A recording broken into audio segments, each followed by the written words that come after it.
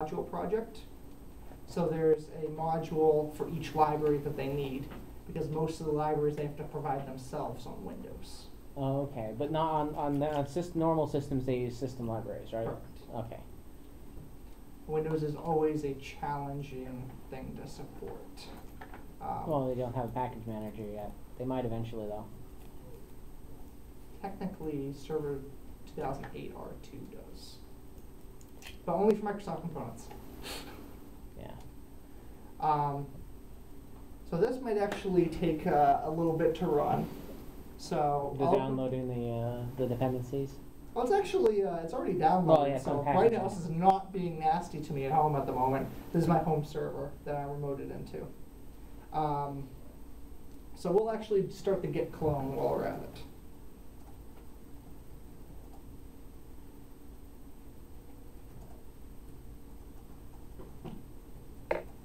So I can just do it right here. And that'll be nice.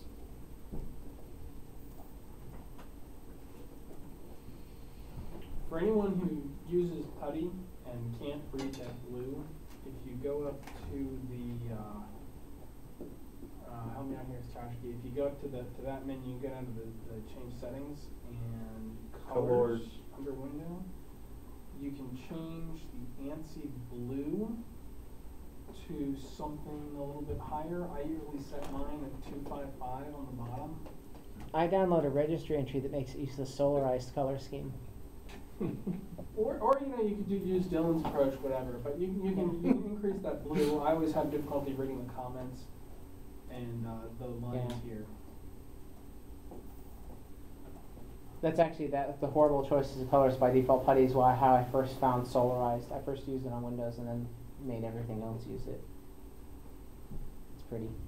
Can you tell us what it is? It's a color scheme. Uh, uh, we can talk about it some other time. It's it's meant it's designed to be very readable on any kind of screen. Just if you Um, put like hundred and eighty in the green, it'll be a little brighter if that's what you're having difficulty with. I can read it just fine. Can everybody else read it? we don't need it. It'll go white as soon as I start doing the uh, git checkout. All right, so let's make ourselves our lives easy. Go to the handy dandy wiki page, and it will say, "Do your first build." If I remember correctly.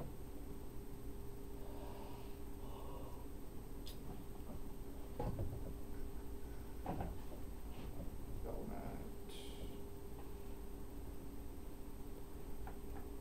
That's in a nicely customized media wiki install as well. There we go.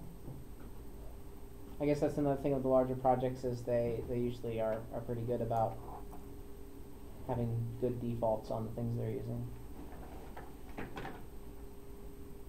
on they they actually all this that I'm doing right now is directly on building on Linux. So they've made they admittedly they built bent over backwards to get on any platform you want to build it on, including Windows, which is the most challenging one to build on. Um, the right tools. So just a git clone, and that one will now take a little bit of time, unfortunately, because it's a large code base. And it's using Oh. Why? Why? that's a lot of objects. Counting the objects.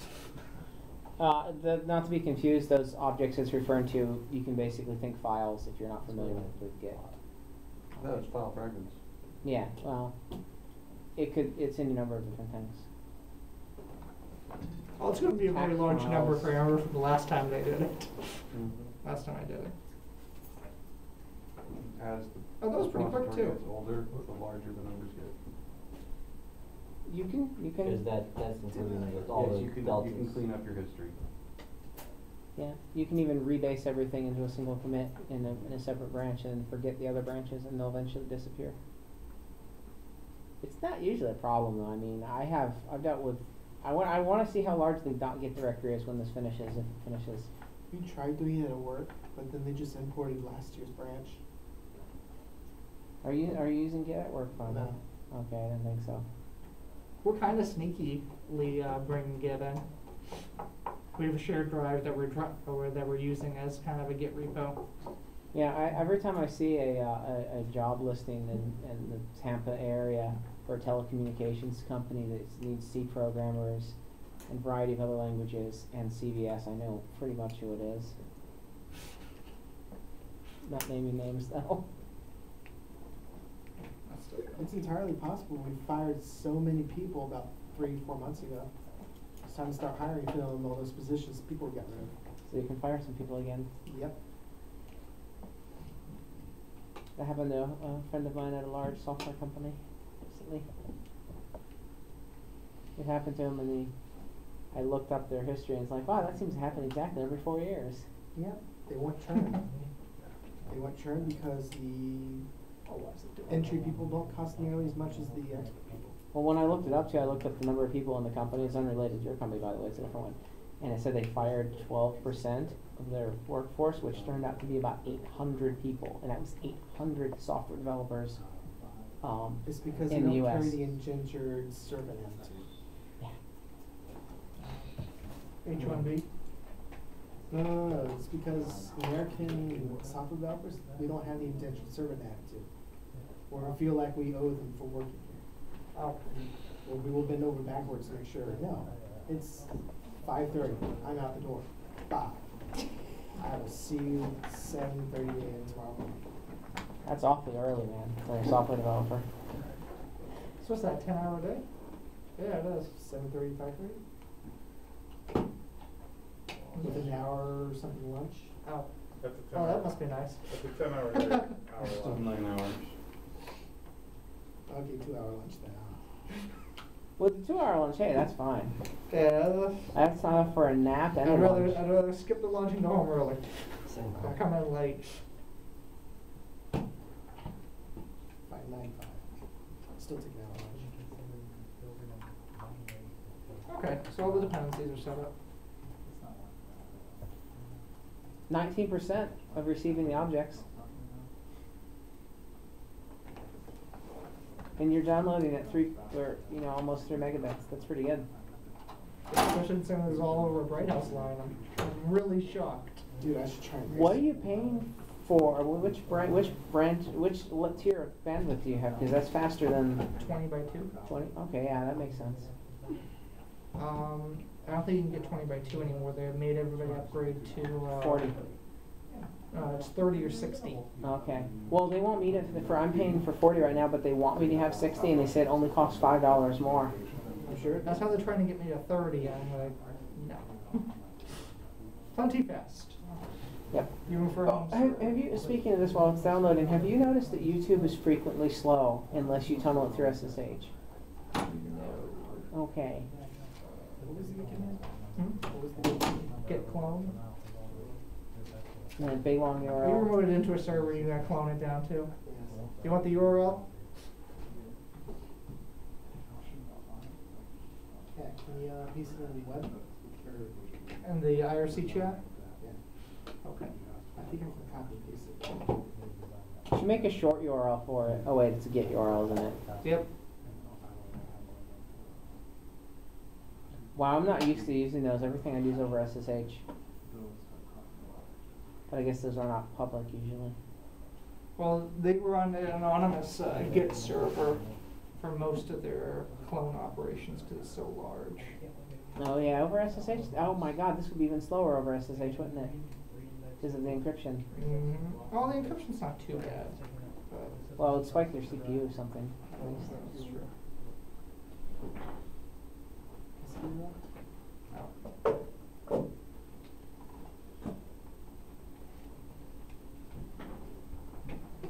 Oh, they're perfect. Control C. Uh, Oh wait, oops. I kind of pasted that on the wrong channel. what channel was that? On the LibreOffice Dev one.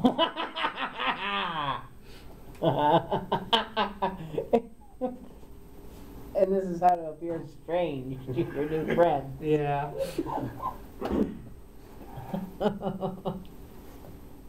I've done worse things. I can't complain. My favorite was because I did the uh, Gentoo work over the summer. It used to be before Git that, and you'll see this with some projects, that you have to go through a whole mentorship program and everything else to be able to do anything. the Gentoo one used to take so long that I only really had a summer to work with them. Um, by the time I got commit access, the summer was over. So I've been doing everything via email patches. I got the access, and I'm like, oh, what am I gonna do with this anymore? I've got the time, I'm back in school, and got purged right back out without making a single commit at the six month mark. But um, that, that truly is the nice thing about the rise of GitHub is that um, contributing is a lot easier with a, a simple pull request. Mhm. Um, That actually is like the nicest thing about it, really. Now, the cool thing for, well, let's, let's kick off the bill, well, still let's resolve the bill first. Um, the nice thing about the way LibreOffice works is anybody can set up and push code to them. But what they have set up is a tool called Gerrit. So what Gerrit does is it acts like a Git, uh, a Git server. So you write your code, you push it to Gerrit. Gerrit takes your code and it's a review system. So everybody can comment, review your code, look through all the changes, and only then they cherry pick it out of Gerrit and shove it into the main repo, and that's how everybody gets your change. Does it have to be approved by a certain number of people, or? Well, it's anybody that's made core committer. So typically, if you've made, once you've built enough of a name for yourself, they'll promote you to core committer, and you just commit directly. But for all the random patches they get, because they get a lot of them, everything else goes through Gerrit. So, so here's a random patch that somebody's worked upon. Now, the other fun thing, Dot SCP.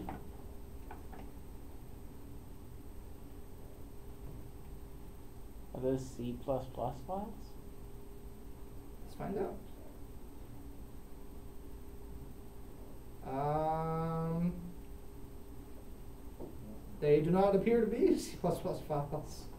That would appear to be some kind of Basic. basic, yeah? I guess that is basic. I guess they do have basic in their database. I called it.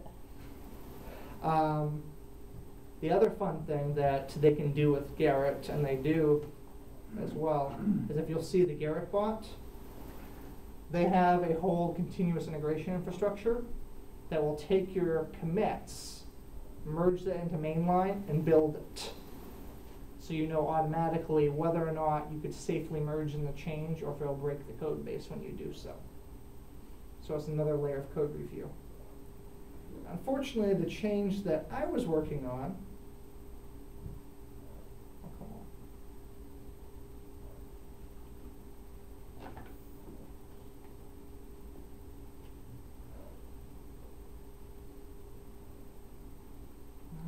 Uh, did I, where did I put it? I put it in the bug list. I'm not gonna catch that. How fast a server are you doing that on? It keeps going anywhere from between four and five megabits per second, Oh, megabytes. well, it's not that bad. And that's what, what I have at home. Um, I know, they keep wanting me to upgrade, so I can show off the latest Flash product to all my friends and family. Which doesn't matter because they're not building new lines near me. Apparently. I'm trying to remember where. hold Keep on a emailing second. them about it though. Please, you're that's the you're a It's dozen probably young. because, um, City Hall said, no, you're blah, not blah. tearing up the front lawn. My front lawn's already torn up anyway though. It's got car parts sticking out of it from the previous owners. I was speaking more along the lines of City Hall's front lawn. Oh. I thought you got rid of all the car parts that were. in I there. found a spark plug yesterday. Have you Yeah, thought about taking a never- metal detector? I still find random, like, Star Wars toys in my backyard. That's much cooler than what I find. I find car parts too, but that was the last one I Mom, my mom found the bicycle seat once. Old rusted frame of one anyway. It's never more fun than finding a bucket full of cold balloons. Um, where did I put it? Did it finish? Yay! Yes, it's done. Give us wanna a the du dash du dash chs uh, dot git or h I guess. I think s- you need s at least for summary. Nah, it'll be at the end. That's only one dot one gigs. which isn't too bad considering the size of the code base. So each one of these is a library that Open off, uh, LibreOffice has to supply with it. So you end up with fun things like the entire uh, Postgres client libraries. Um, a Do it to whole- you on that whole directory tree. Well, it's not gonna do a summary at the end, is it? Oh, oh, it That's only one point eight gigs. So then the next part becomes building it, and this is the part that we will conclude this uh, talk on, because it's going to take some time. Should be like a cooking show, you should have one just finishing up. Do you have, Oh, oh, here's the problem. Well, this is the fun thing that okay. So my first my first change they did with them was to add the version information when you ran the uh, binary of what the source that built your your code was. The second one is they wanted to change. that's AutoConf.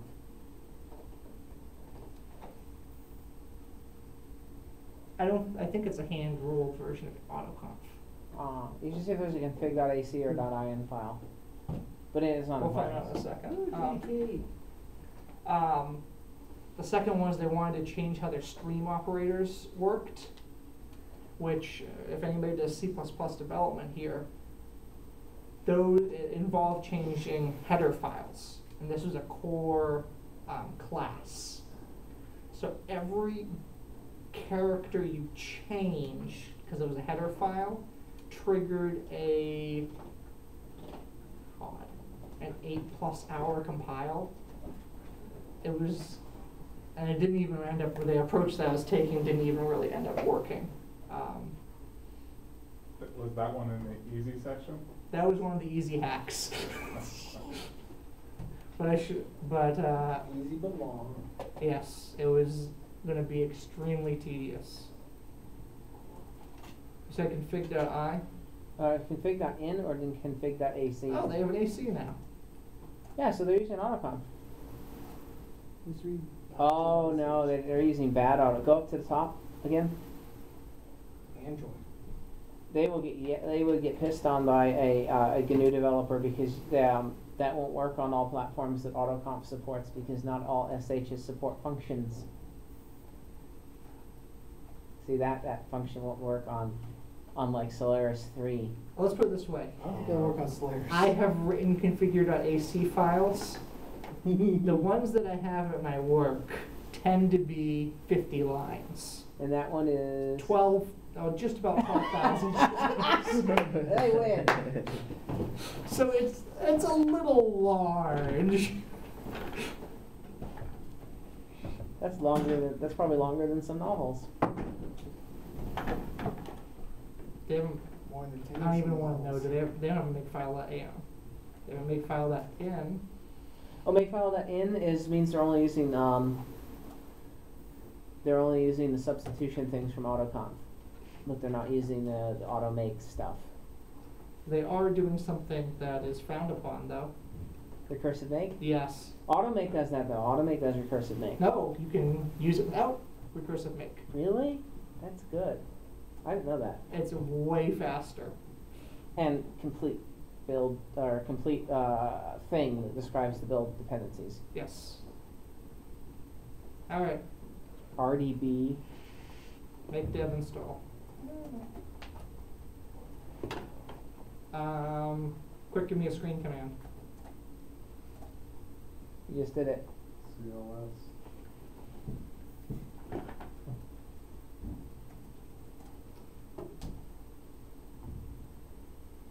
So this will be finishing up uh, about tomorrow. Well, the first thing it does is it downloads all the uh, libraries that it needs that weren't included um, by default.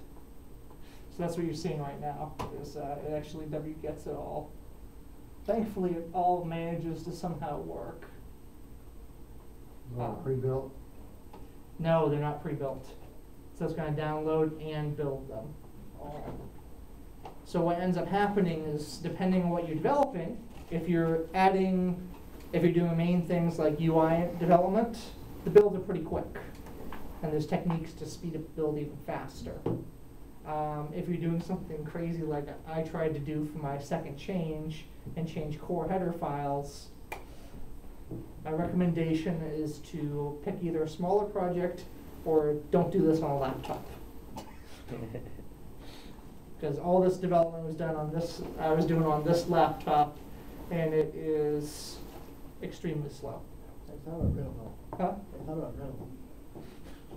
So time for a sword fight, huh? Yes, to reference the XKCD. Um, any questions, comments, heckles?